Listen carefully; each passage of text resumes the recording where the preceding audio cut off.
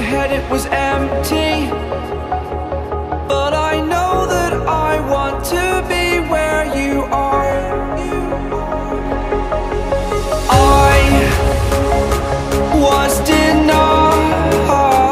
Muy buenas, muñecos y muñecas de la relojería. Tenía muchas ganas de volver a estar con vosotros y aquí estamos una semanita más. Gracias a todos. Ya somos más de 15.000 seguidores en el canal. Estoy encantado. Esto ya no hay quien lo pare, chicos. Tengo que decir una cosa, me encanta los que sois, me encanta cómo sois, me encantan vuestros comentarios.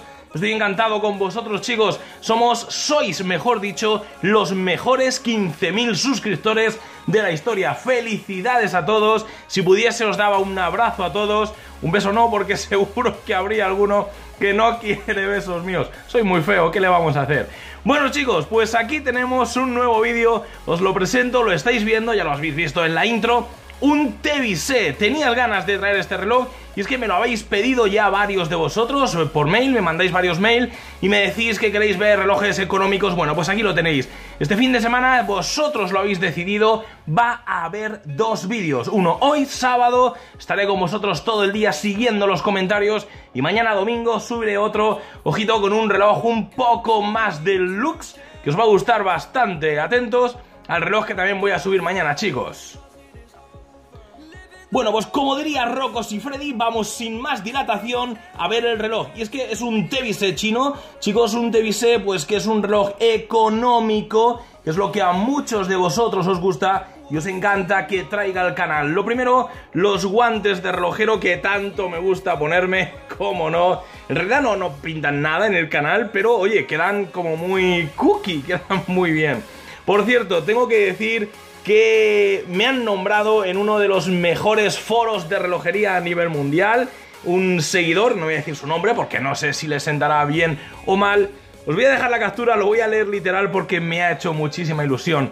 Había un hilo, hay de hecho un hilo en un foro, en relojes especiales, y estaban eh, hablando sobre qué youtubers relacionados con relojes siguen. Los suscriptores de ese foro, bueno, pues siguen a algunos tipos de youtubers, yo no me considero como tal Simplemente os enseño relojes y me encanta estar con vosotros, chicos.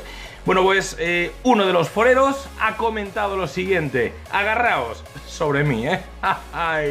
Dice, por añadir algo, lo leo literal. Creo que no está citado en este hilo, comenta.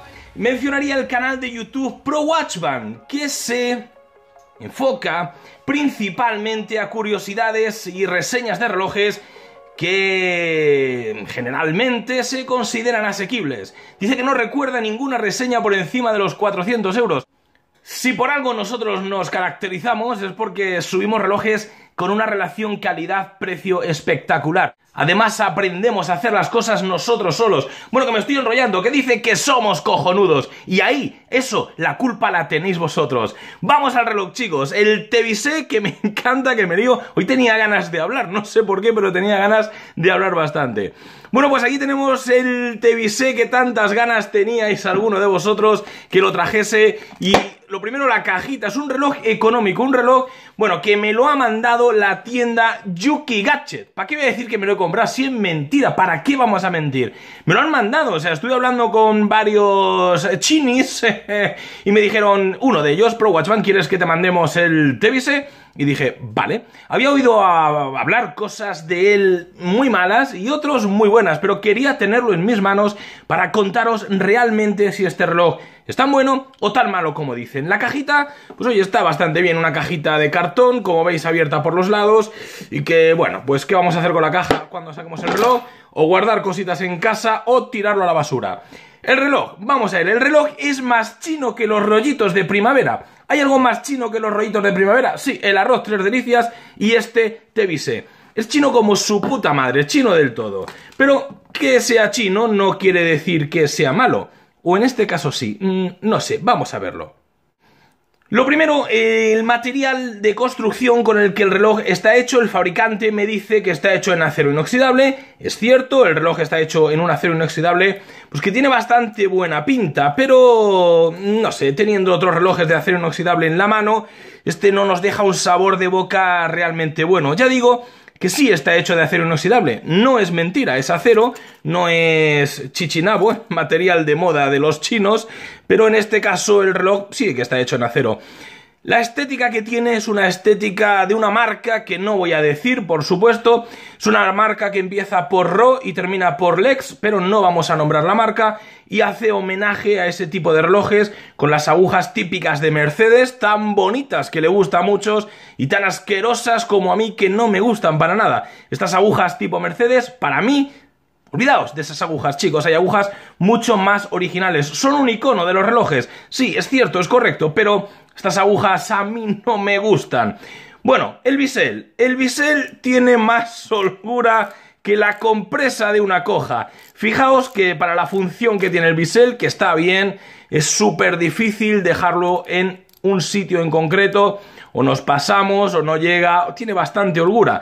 No está mal el bisel, es un bisel de chapa, es un bisel de aleación, de chapa, pero que bueno, la perlita está ahí y la holgura que tiene es lo peor que le he visto. El tacto no es malo, 60 clics, ya sabéis que otros relojes que tienen 120, pero este tiene 60 clics y, y, la holgura, la holgura, por favor, de verdad, es que, es que no sé qué comparación poner. He dicho antes que la compresa de una coja, eh, qué imagen, por Dios, bueno, que tiene holgura el bisel.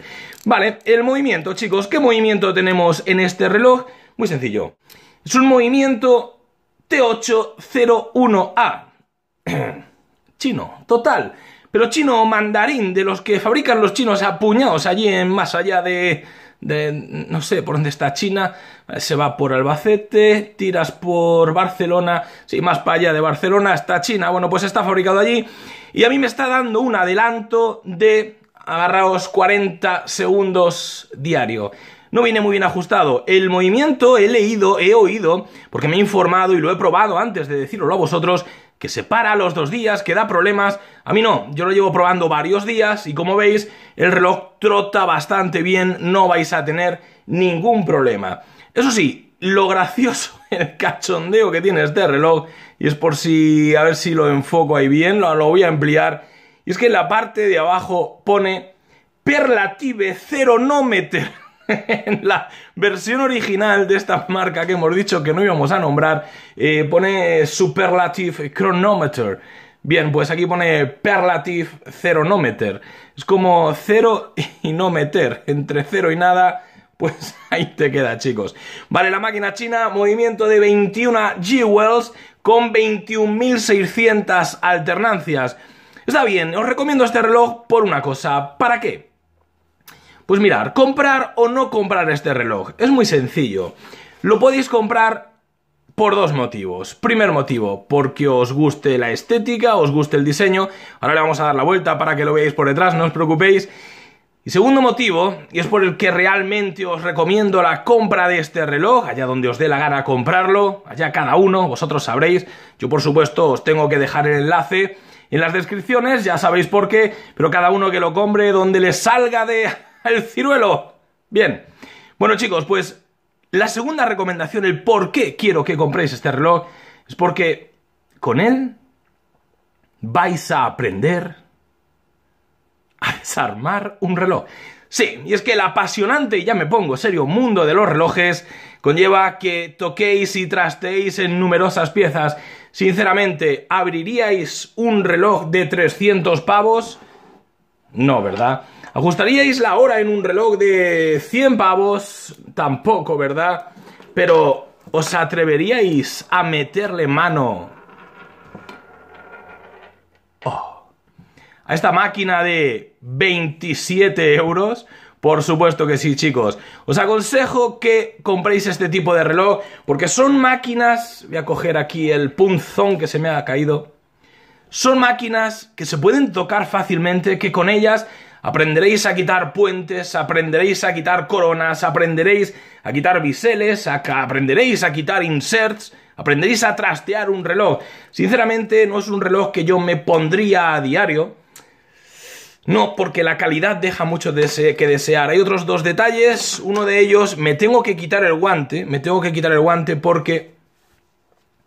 Porque la corona para la hora. Esto no hay quien lo saque a la primera. He estado antes intentando, y, sí sale, tiene una poquita de holgura aquí la corona, ¿veis? Esto que estoy girando y que el minutero no se mueve, esto no debe, fijaos todo lo que muevo y el minutero no se mueve, esto es lo primero que tendríais que ver en un reloj automático o de cuarzo, me da igual, pero aquí no tiene que tener tanta holgura, chicos. Sí que se mueve el minutero, fijaos, sí que se mueve, pero estamos viendo una holgura grandísima y esto no es bueno está bien acabado del todo. Luego para, está un poquito duro para coger la corona, pues te ves negro. Tienes las uñas más largas, yo es que las tengo muy cortas, las uñas. O no lo vas a coger bien en la primera. Ya os digo, está bien el reloj. A ver, para su precio no nos están engañando. O sea, nos están vendiendo un reloj automático de 27 euros, 25, 30, no lo he visto más allá de 35 euros, son unos 20 y algo de euros, y que, que no tiene cristal de zafiro, es un cristal mineral, por cierto. ¡Ay! El cristal mineral, qué bueno. Eh, fijaos la imagen que voy a poner ahí ahora mismo. O sea, dice que el cristal mineral que no se raya. Dice, no, me, espérate que eche un trago, espérate.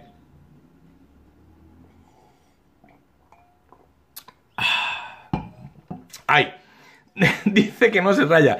¿Qué me he traído, chicos, yo aquí ahora mismo? La máquina de probar. Vamos a llamarla así. Se llama la máquina de probar arañazos. Según esa imagen, nos dice el reloj. Yo aquí pruebo los relojes. Y sabéis que lo que es verdad lo decimos y lo que es mentira también. Bueno, pues dice que no se raya. ¿Lo hacemos? lo hacemos, quiero likes ahí. Quiero likes. Ah, por cierto, suscribiros, que me encanta. Os lo digo en serio, estoy encantado con vosotros. Suscribiros, cojones. Le metemos, esto lo voy a hacer por vosotros, ¿eh? Yo por mis seguidores mato. vamos a darle, vamos a darle.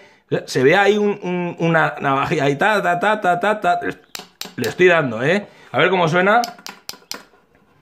Y la navaja corta que te cagas. Ojo que me estoy asombrando Ojo que me estoy asombrando. Ojo que la madre que me parió, en serio, esto, chicos, no me lo esperaba. Lo pongo al reflejo y no, no me lo esperaba, en serio. Es increíble lo que acaba de ocurrir. Fijaos lo que estamos haciendo y lo pongo ahí para que lo veáis. Le estamos dando bien le estamos dando bastante bien con la navaja. Oye, chapó para el cristal del Tevise, que esto creo que ningún canal se ha atrevido a hacerlo, pues Pro Watch van atentos porque no tiene, lo pongo a, contraluz, no tiene ni una marca, chicos. O sea, chapó para el cristal. Entonces, ¿será de zafiro el cristal? ¿Se habrán equivocado los chinos? ¿Se ha parado el segundero? Ah, no, qué susto. ¿Se habrán equivocado los chinos?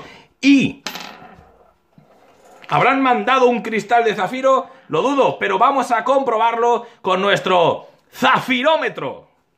Ya sabéis, solamente encender la maquinita, esperar a que se caliente y una vez que esté caliente pincharemos en el cristal del reloj para saber si es o no de zafiro. Pero oye, aunque no sea de zafiro, lo tenemos aquí ya enfocado, me ha causado una gran sensación que no se raye la pantalla del reloj. Es curiosísimo. Oye, un reloj que no pasa de 20 euros, que le hemos metido la navaja bien, que eso no lo vais a hacer vosotros en vuestra puñetera vida, tratar así a un reloj. Tenemos el zafirómetro encendido, lo ponemos y no es de zafiro, por supuesto, chicos. O sea, es correcto, no nos han engañado, el cristal no es de zafiro, pero oye, lo vamos a volver a hacer. Podemos estar así, puedo hacer un vídeo de una hora haciéndole esto al reloj. Porque es increíble, esto no lo haría no me atrevería a hacerlo con otro reloj, os lo prometo.